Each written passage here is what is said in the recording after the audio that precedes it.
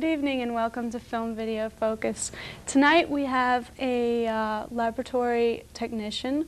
Um, he likes to be called a film technician from Kluge Laboratories, and he's also an independent producer. Um, I'd like to welcome Rob Linder. Rob, do you want to tell us a little bit about um, how you became a, a, laboratory technician or a film technician? Well, more or less started as a part-time job, um, working in the production field in Milwaukee. Uh, I became aware of the film labs, and uh, as opportunity created itself, I started working part-time at a film lab, and then that eventually worked into a full-time position after graduation from college. So during school, you began working mm -hmm. a mm-hmm. part-time job. Right. Were you in high school or college? No, college, UWM. And what did you have any other experience in in um, film or video? Well, I began making my own films um, roughly six, seven years previous. So as I said, I, I then began working into 16 millimeter film production at a, a Milwaukee-based film company. And then therefore working in that, that format became uh, familiar with a professional post-production company. But you specialize now in printing and color correcting, is that? Right. And how did you become a specialist? Did you decide that after a while you liked a certain area, or um, did that you, did you just get an opportunity? Yeah, just basically how opportunity presents itself, and uh, after you get enough experience in one area, uh, you're generally able to move up into something else. All right, well, um, tonight we also have a tour that you are going to take us on at Kluge, and I thought maybe perhaps you'd like to give us a little um, idea of what we should look for.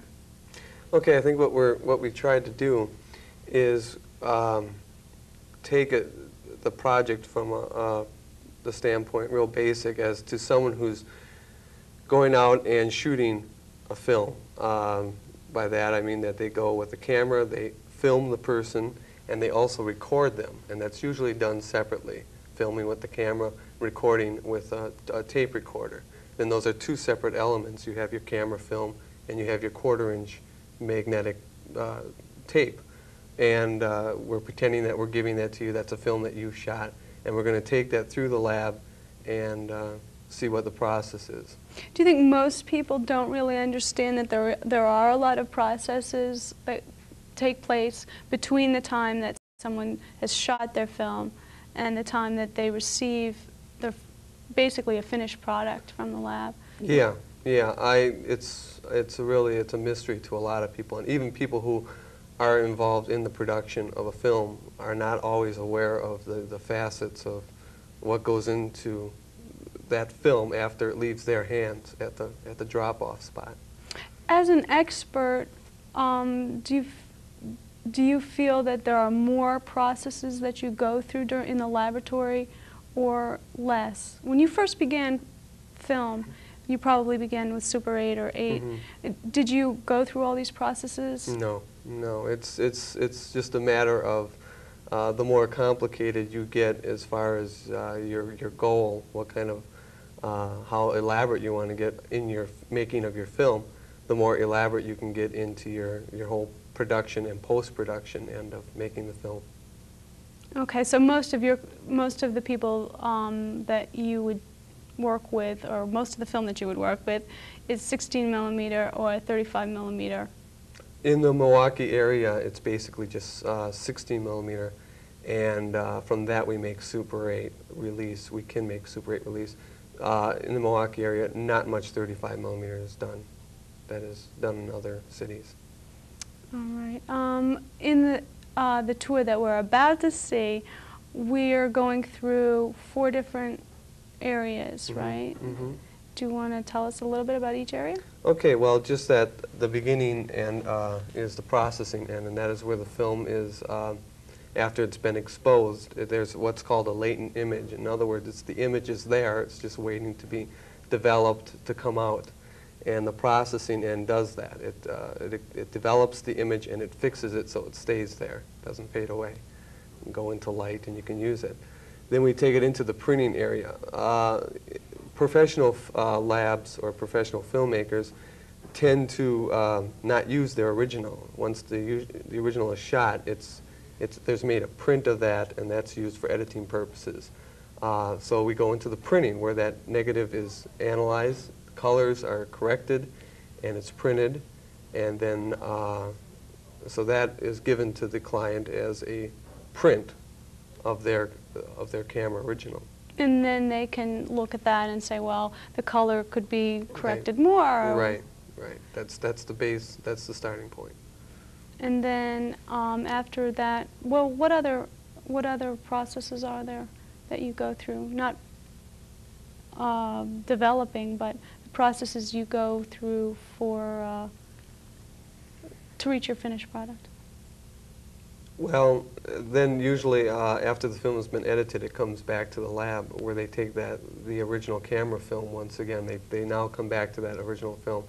And it, it comes into the printing department where, again, each shot and each scene of the film is analyzed. And anywhere in a, in a TV commercial, that could be, you know, 30 shots.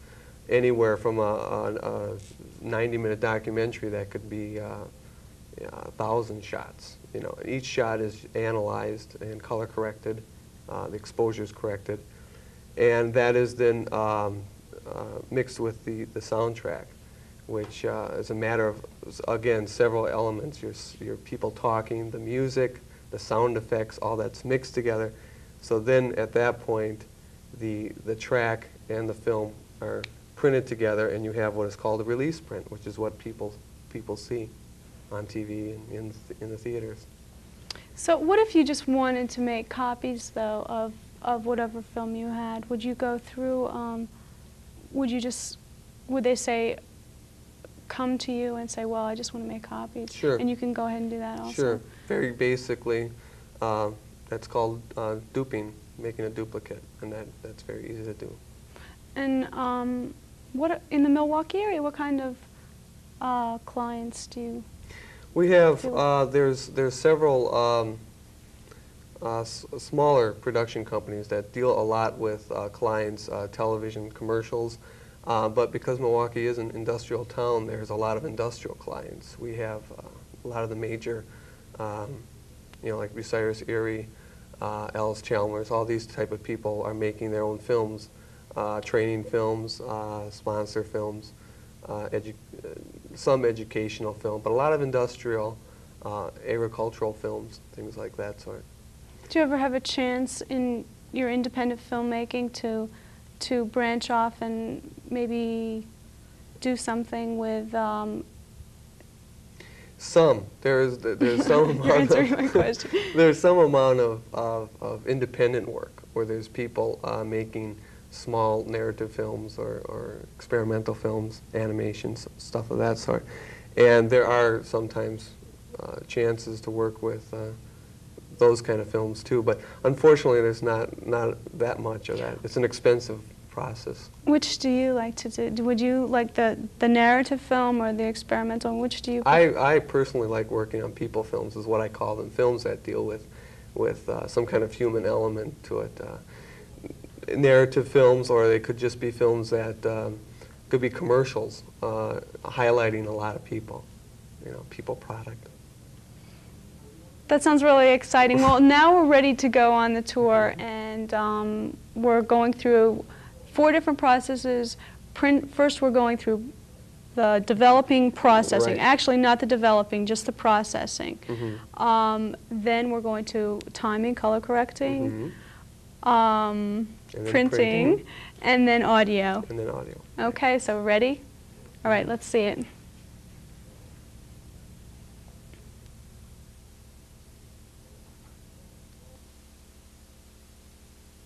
Here's my film. Okay. What we're going to do then is we're going to take this and we're going to explain four procedures um, that a basic film would go through. This here is your picture, which we're going to have your negative, which we're going to have process. But they're going to analyze it, print it, and then process, make a work print out of this. This is your quarter inch recording, which we are going to transfer to 16 millimeter full coat. So you're going to have picture and sound separately, which we will then edit. So we'll begin with processing, and Bob Jenkins will take the film. Thank you. That's This uh, normal process? process normal. All right. One thing that we don't see is that in the dark, the dark end, which is the wall to your right there, uh, is where the film is developed. That, of course, is done in total darkness, and it is uh, then washed and, at- and fixed. And then at that point, it's safe to come out into daylight, which it's doing. Then it goes through several other series of chemistries, uh, bleach, um, stop bath, and rinses. What we're seeing now is this is it's going into what's called the- sound tree. The sound portion of the film is printed separately and then developed separately from the picture. And it's it, even though it's printed alongside the picture, it uh, it actually is uh, it's a separate developer. It's a black and white developer, and that's right there. It's being applied. It's a very thin little strip, and it's actually very uh, um, very hard to do sometimes very intricate. So there it goes through um, some more fix, uh, the fix process, and then you see it going up into uh, the drying cabinet. It's right now it's being buffered. Uh, in other words, the, it's basically being um, towel dried, if you will. Uh, what Bob's pointing to right now are replenishing units. We can basically keep that machine going all the time, but we always have to replenish the chemicals. That's the dry box where the film's being dried, and that's the takeout end where the film comes out. And as you can see, film is basically rolled on cores, and then that would be put onto reels, which a lot of people usually see film.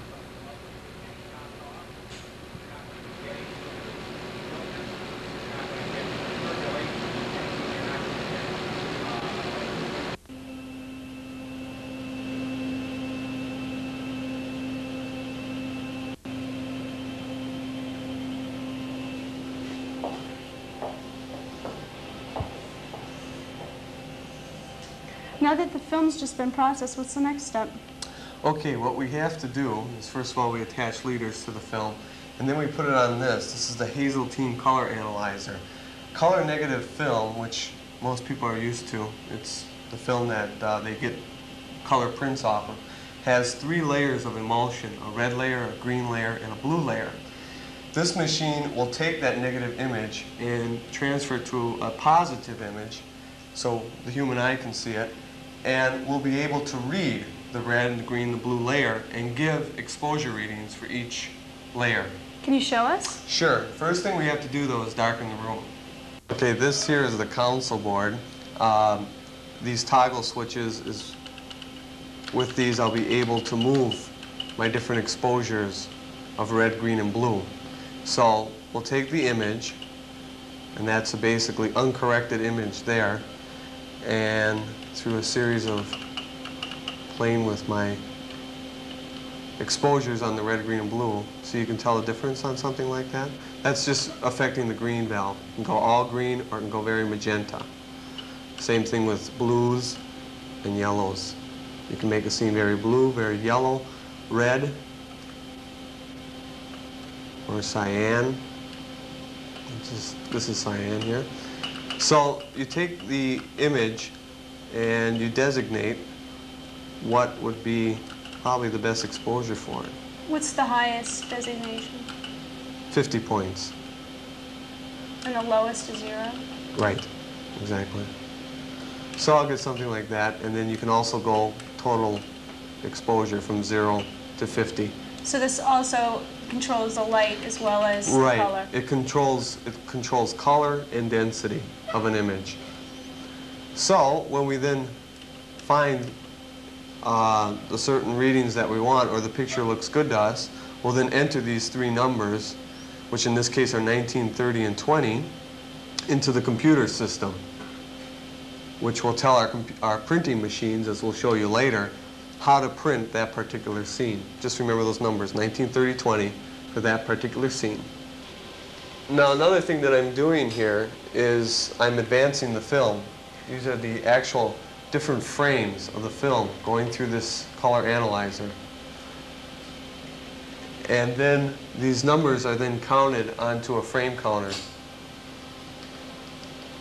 which will tell the printing machine at what frame those numbers, those uh, three red, green, and blue numbers, should actually take place. So it's a way of marking the film without actually putting any marks on the film. Mm-hmm. Now, what we do then is we enter this into the computer. These are the frame numbers telling when the cue changes are going to take place. And those are the cue numbers. That's the red number, the green number, and the blue number. That's the whole series.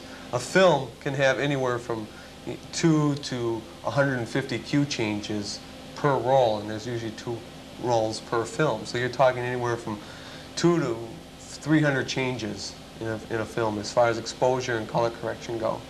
Plus these numbers here are for fade outs and for dissolves, which are something that people might wonder how those come into being. So anyway, we'll go light and I'll show you how we can punch this onto a computer tape for the printing machines. Great. Okay, now the computer has all the information that we just entered into it, the frame counts and the exposure corrections that are going to take place on the film.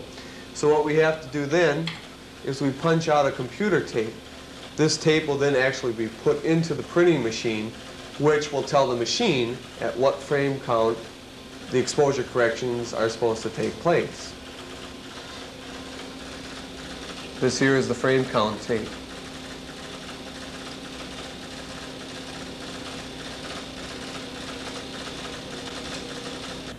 Okay, here we are in the printing room, and we're going to take those two tapes that we just printed up. We're going to put them into this machine here, which is known as a wet gate printer. Like I said, those tapes are going to tell this machine what to do.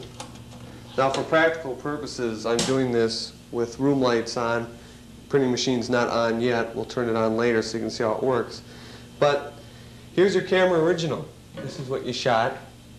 And it's situated into the machine here. This is the raw stock. This is what we're going to be printing onto. We're going to make a work print with that.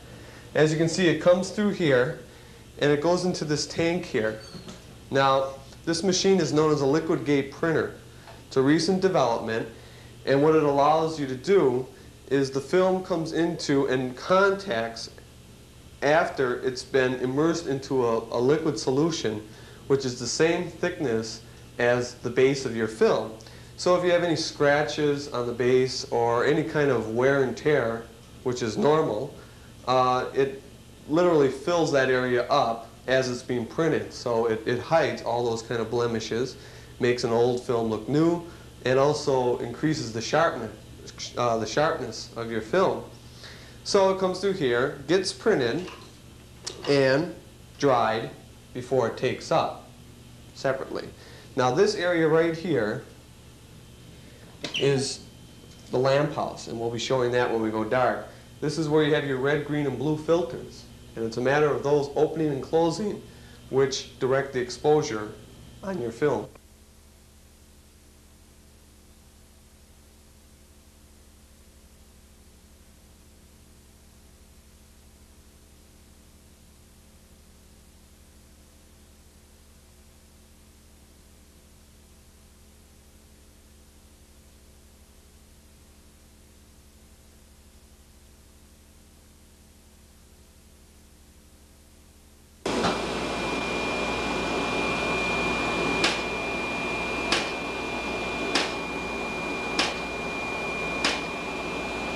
Doing fade ins and fade outs. Here we are in Studio C, and we're going to take this quarter inch sync recording that you shot before, that you recorded before, and we're going to give this to David Wysocki, who is going to then transfer that to 16 millimeter full coat mag.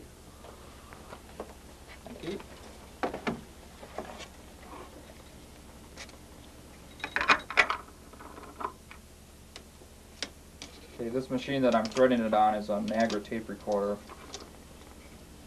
And it's able to take a pilot tone, which is laid in, in your initial recording, and keep it at a constant speed with this part of the recorder down here called the resolver. And then the sound is transferred onto the magnetic film on a magnetic tape recorder, which is in the other room, which we'll show you in a minute. So you just turn it on, pull the fader up, put a fader up on the board, and you have sound. You set your proper levels. This controls the level of the sound, and there are all sorts of other devices here to control the different tones of sound. Basically, you can alter you can alter the sound with, with some of these sound effects devices. This is an equalizer up here. You can Well, I had made the finals last year. take so all the bass out of it if you need it. That I could make so it sounds real and I tinny. had the ability to do it. Uh, Once you get the You can do the same thing to the high end. a matter of So now there's no high end at all to a voice. it technically happens. Sounds like he's talking in a But it's a bathroom.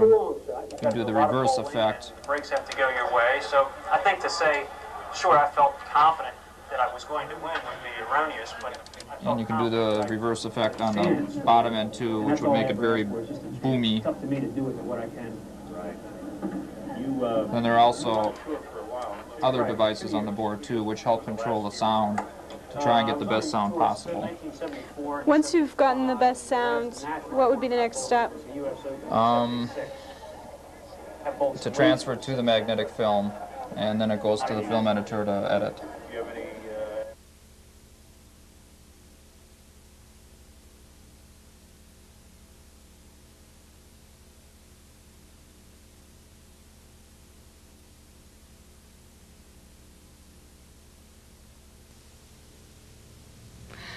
So after you have the correct audio, you um, are finished. You can project your film. You're ready to project your film.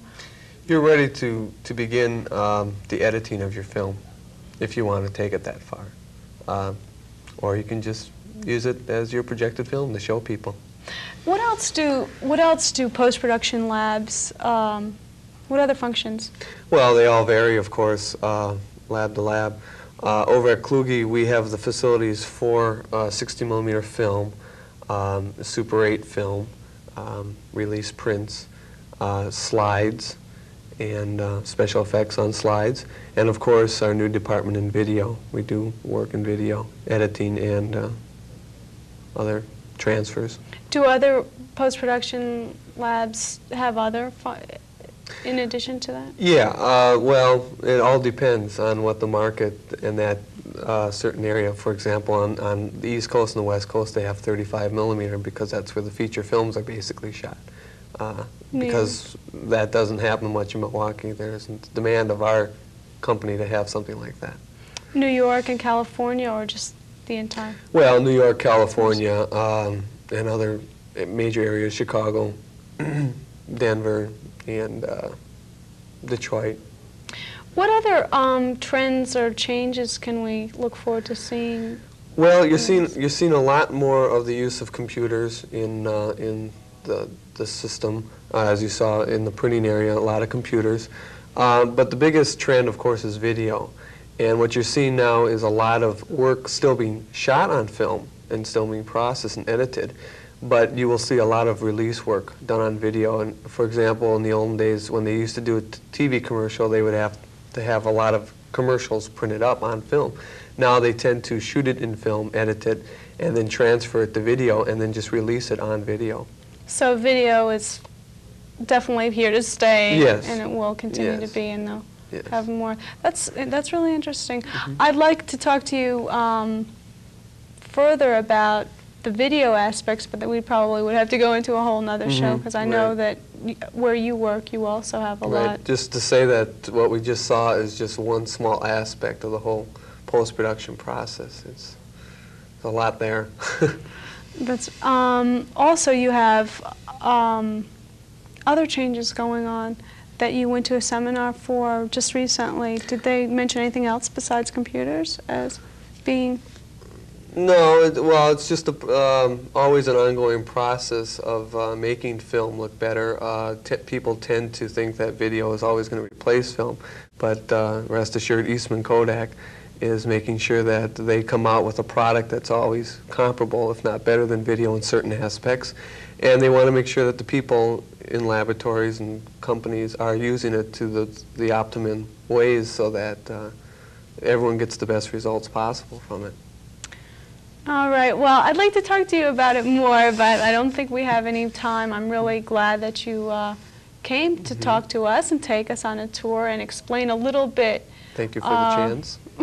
about uh, what you do, film processing and so forth. Well, um, I think that that's it for tonight, and we'll have to see you next time on Film Video Focus. Good night.